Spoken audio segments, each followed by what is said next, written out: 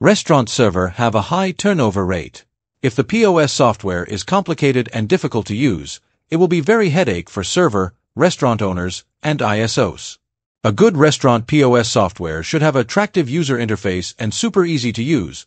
OrderPin has invested a lot of effort to deeply understand restaurant operations and carefully design every interactive interface of the software. For example, the restaurant layout is accurately restored. Server can use dragging gesture to help customer transfer table. And gesture dragging is used to merge guests at different tables, support servers to easily provide customers with high-quality services. For example, single gesture clicking the table icon move to Add Dish, and gesture double-clicking directly to the checkout. This small optimization, even if it only saves the waiter one click, we think it is worth it, because it can help waiters streamline operation.